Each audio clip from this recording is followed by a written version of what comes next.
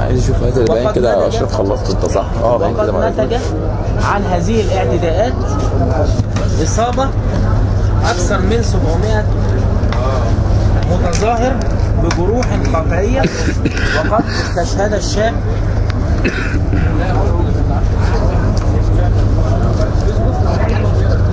وقد استشهد الشاب محمد محمد محمود 25 سنة في مستشفى دمرداش بطلق ناري في. والجيش والإيه؟ والإيه؟ والفرق؟ وال- وقد والعباسيه فتح والإيه؟ مسجد النور أبوابه لاستقبال جيش المصابين الصدر والعباسية وإيه؟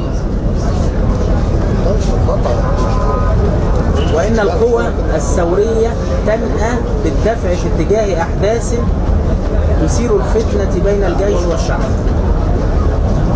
والذين قاموا أطلقوا عليهم اللجان الذين أطلقوا عليهم اللجان الشعبية. وإذ تطلب القوى الثورية التحقيق في هذا الذي تم الإعداد له اتجاه المتظاهرين من أعمال شغب وعنف.